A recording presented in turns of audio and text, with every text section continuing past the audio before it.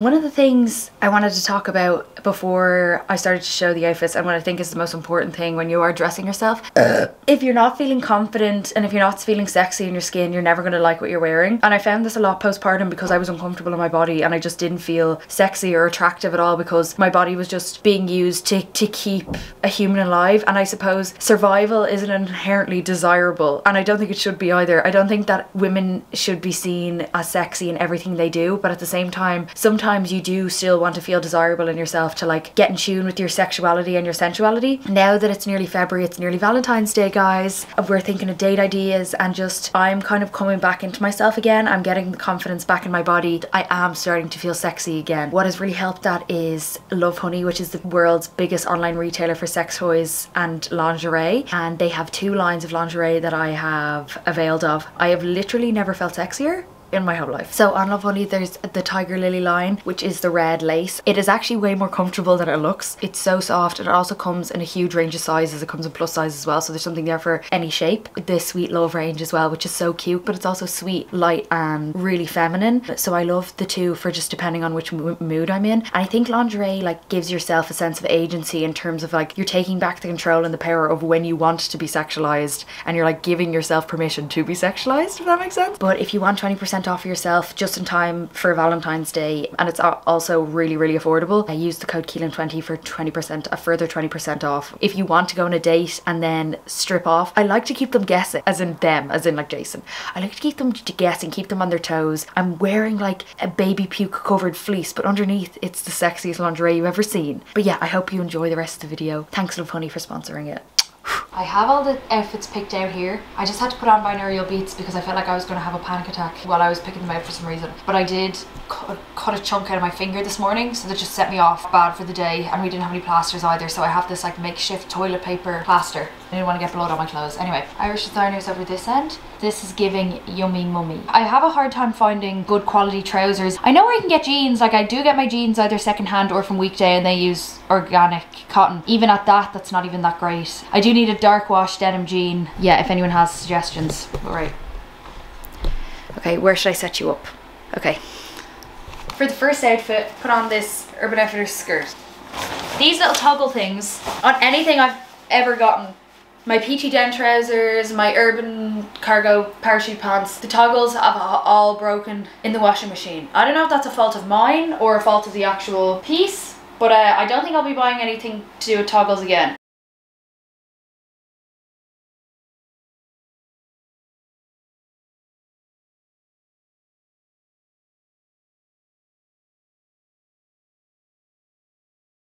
So I'm not a huge fan of anything with a toggle on it now. Okay, over top, I'm gonna wear this denim jacket from the brand Sweet Skittabas. Get really structured. It looks kind of bad though with big boobs. That's the problem. And then over top, I'm gonna wear this weekday, weekday, what you call this? Quilted khaki jacket. This I wish it was more structured. It's just a bit loose and like shitty quality for me. I got it off Depop so I don't know I'm undecided whether to get one like a better quality one. I'd also love one in a different colour. This is the buzz. I'm going to wear this green bonnet. I have a matching one with me and my baby. Crochet Gal made this for me. She has a YouTube channel and yeah she made me these. Now I don't know which way this goes. I think it's this way. And it is slightly too big for me so I am going to clip it in with these curl clips. You can see that. Stunning. For an accessory, can either go with this bag, which can be worn this way, or it could be worn this way for easy access. For an alternative bag, go for a pop of colour. This bag is by by Anna. Like bye bye Anna. She has loads of these bags on her Depop and she'll make them like she will commission I think she commissioned this for Jason for me for Christmas. So any colour you want or whatever she'll do for you. But she also always has sales on her Depop as well so they are really affordable. The only thing I will say is they are really really heavy. I can't really wear for that long if you know what I mean. Like if you're going on a hike I wouldn't really bring this bag. If you're planning on, maybe you're on a holiday and you're walking around a city, I wouldn't wear this bag because it is very heavy. Also, I need to get a carabiner to fit my keys because if I put my keys in this, it would probably fall through one of the holes. You also can't put any pens in there, but you can put a pencil case. So that's the alternative. Does everyone like this outfit? next outfit. I'm not gonna wear the bonnet this time. I'm gonna go with this claw clip. Why do I feel like a beauty influencer? This claw clip is from um what call it claire's. It's green and suede. It's my favorite claw clip at the moment. It was on sale. I went into claire's to buy my sister presents for christmas and it was just so oh like I would actually buy all the shit in there for myself but it is extortionate. It's like taking out a fucking down payment on a house in there. So little claw clip moment. Handy for the kids. She's at a pulling hair stage now so I kind of always have to have my hair out of my face. Otherwise she will rip it out of my head. So yeah you can go like this. I think if you wear like a long sleeve thermal underneath this you can go out in the cold. Personally I do like to layer layer it up though. So I'm gonna go with this jacket again. Again I wish this was this jacket was a bit more structured and better quality. So I might invest in maybe a blue one. Like a baby blue one. Probably with this bag. I don't know if we'll go with the orange one. This bag is from Depop, from a vintage shop in Depop. but yeah. I've had to stop putting rollers in my hair because I think my scalp is just too sensitive and because my hair is falling out so much I have to leave it alone even though it makes me feel worse not styling it because it's so obvious that my hairline's receding if I don't style it if that makes sense so I'm just trying to leave it au natural if anyone's like ew why couldn't she do her hair for this I'm trying not to. So I have to wear it down as much as possible or in a loose claw clip, which is the best hairstyles to keep your hair in. Or a silk scrunchie, which I have. I have, or sat, I have this satin scrunchie. They're the best hairstyles to keep your hair in if your hair is falling out. Okay, so next outfit. This is really living my yummy mummy fantasy. I'm obsessed with this cardigan. Cardigans also such a huge necessity if you are a breastfeeder, especially during the winter because if you want to wear a short sleeve top and it's freezing, if you're wearing a jumper and all these other layers, it's much easier if you're wearing an open jacket, a cardigan, so you can just take open a few buttons, like so, lift up your top and then pop the nipple out and breastfeed them like that you're staying warm, your baby's staying warm. I was on the hunt for good cardigans. It was really hard to find any that didn't make me look frumpy or something. I still do feel a bit frumpy in this, but also I'm just like self-acceptance. I do have big boobs and I have to, I have to get used to it. I, don't think it's the so I don't think it's the most flattering on my shape. I wish the sleeves were a bit baggier and this part was a bit tighter, but beggars can't be choosers. It's uh, it also looks really nice when it's opened, so you can wear it in a, loads of different ways. But the way I like to wear it is jackets over top. Now this is my Ganni Cost now uses some sustainable, I know it's not the best, but it is sort of slow, slower fashion and they use sustainable materials in some of their clothes. So it's still a bit better. Ganni is like 100% sustainable brand. They use recycled, 100% recycled polyester to make this jacket and it also comes with the, you know the frilly, the frilly collar. The frilly cottage core collar that buttons on. Now, the thing, I love the collar, but it's more so, it's weird because it's such a warm jacket, but I feel like I would only wear the collar in the summer because it looks it's so annoying to wear in, in the wind because it keeps flapping in your face so I just took it off but also that gives it a bit more versatility I think as well and more ways to wear it which is why I love it so much. I feel like a, like a happy teddy bear or something and I also wear I have this silk scrunchie satin scrunchie that I got from Trua they gave me loads in loads of different colours but I mostly just wear the white one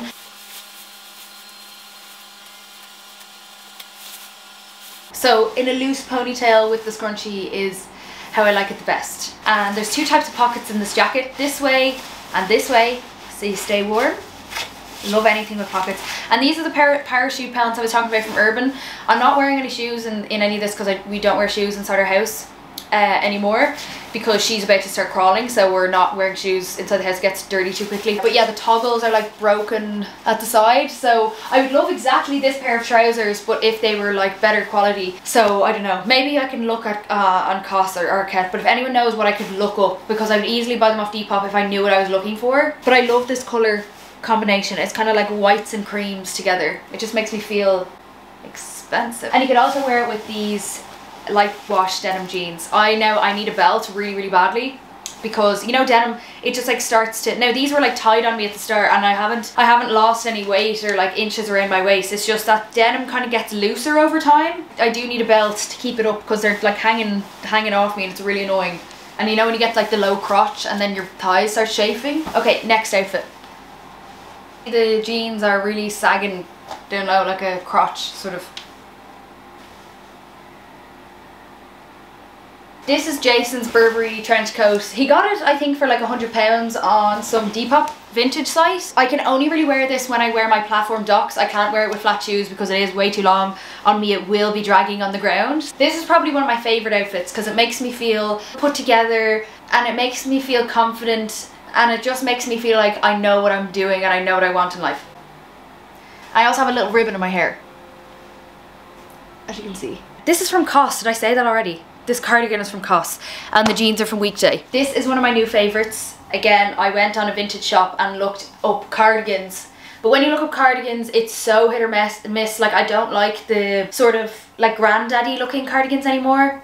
But I love, I this is exactly what I was kind of looking for. It reminds me of Unif. I got it off Beyond Retro. I think it was, uh, I think it was £45, but I'm not sure. But they always have sales on there anyway, and it is cheap enough. I did get a dry clean though. It's like a new thing that I am doing. If I get vintage clothes, I'm to dry clean them because I don't like the musty smell. I used to love the musty smell because it reminded me of my uh, granddad's house, but now I don't really like it anymore. So yeah, I've started to get my vintage stuff dry cleaned.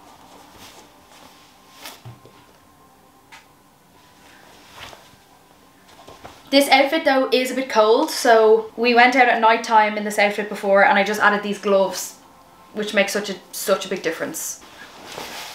Now, Stun stunning. Where's my fucking phone? Am I recording? Where's my phone gone? I better fucking find it if Jason's trying to call me.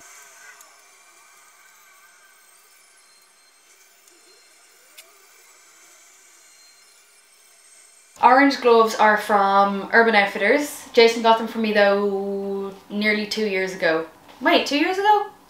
A year ago. I bought these like handmade knitted star gloves. I'll try and insert a picture if I can find them, but I've lost one of them. That's the that's what I envisioned for this outfit and I found the one glove but then I couldn't find the other one. And I got those on Depop and when, initially when I bought it, she was only selling it for like 25 pounds. But then I think obviously she got loads and loads of orders and it was taking her too long. So now they're like a hundred pounds I think to be commissioned. So I got them at a good time. I probably paid the hundred pounds anyway but um I've lost one of them and I don't know where it is. And I feel like Missy Moo could have stolen it and she does like to hide things under the couch. So I'm gonna have to have a good search and I'll probably only fucking find it when we move out of this place. But anyway then this from Beyond Retro. I don't know where this jacket is from. I think it's one of my sisters but it's definitely vintage or they got it in a charity shop. Jeans again are from Weekday but I would probably prefer a dark wash denim jean. I don't have any dark wash denim jeans that are like a nice just like straight fit I don't want baggy, I don't want skinny, but I want like in the middle. So if anyone has anywhere that's a good place to get jeans, I don't mind spending for them if they're good quality and maybe sustainable would be good.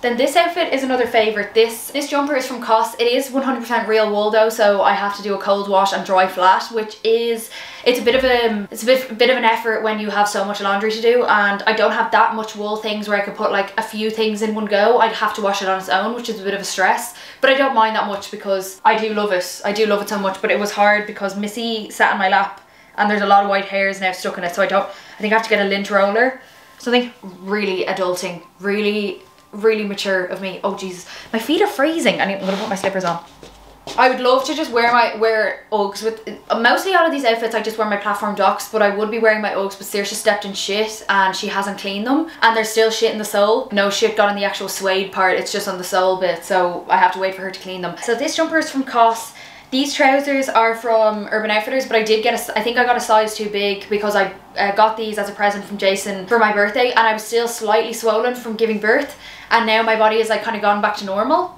Um, but obviously when you are pregnant your hips go a bit wider and your womb is a bit more swollen. So eventually it like goes all back to down to normal. I was just a bit inflamed so I think that's why um they're a bit too big for me and there's no belt loops so I'm not sure. But they still do fit. It's just that they they're hanging down. I might just get um them taken up at the ends instead because they're supposed to be up here but they hang low. But yeah I really like these. Because of the seam they always look like they've been pressed if you know what I mean um, but it's just because they've been sewn that way but it looks like you've ironed your trousers which is good, a good lazy hack. Since reading The Secret History I'm like obsessed with, I might actually get a pair of pince nez. Is that how you pronounce them? Pince nez, pince nez? I'll insert a picture of them. That Fra Francis wears and wool coats. I just imagine, uh, well all of them all, all wore like really nice expensive fitted suits and wool coats and pince nez and had curtains in their hair. We're always carrying around like the what's that book called? The lexicon Greek dictionary thing. So this wool coat is obviously too big, but I do roll it up, and this might not be a good look for most people, but I don't mind. I don't mind rolling it up. This jacket this coat was such a bargain. I got it on Beyond Retro for £28 and it does kind of look like I'm in my dad's clothes in my mum's car but I don't mind. I actually don't mind. I think it looks really nice. It's like real oversized chic, you know?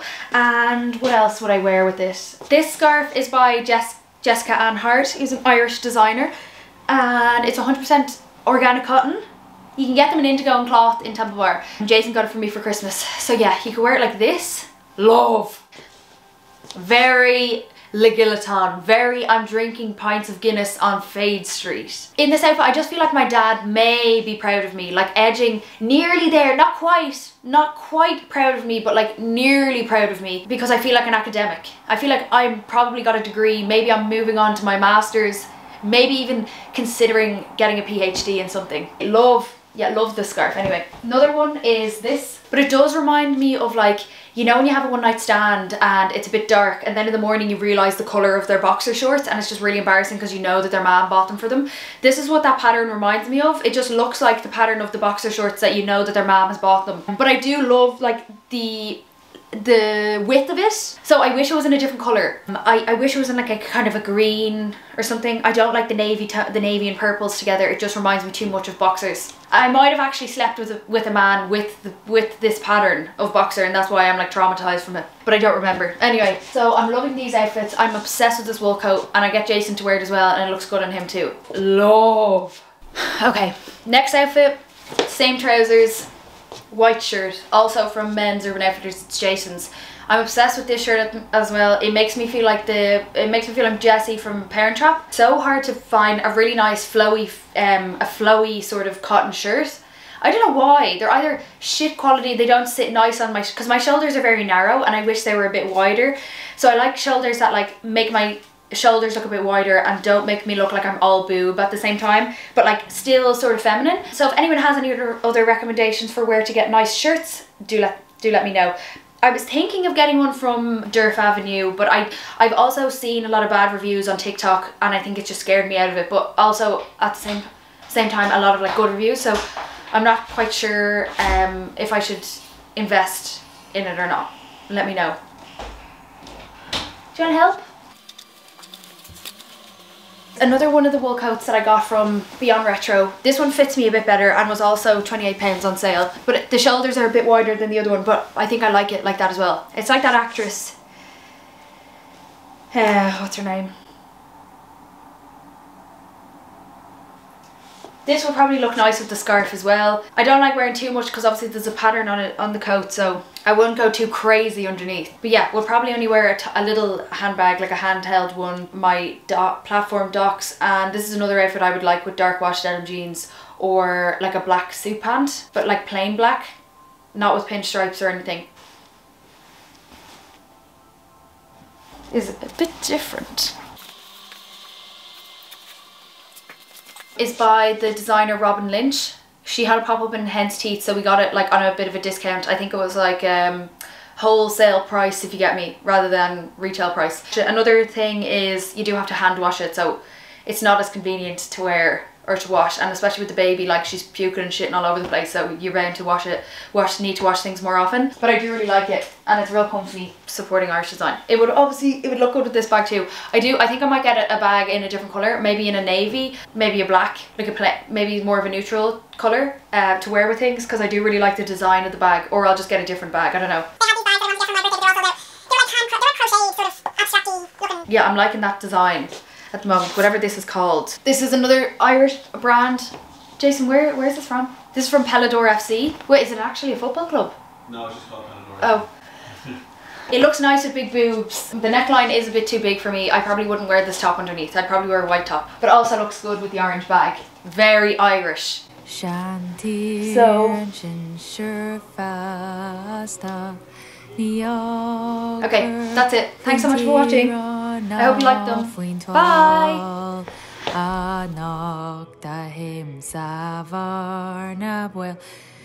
Car ar gael con bas no sail Le gan a scric Fui lafag na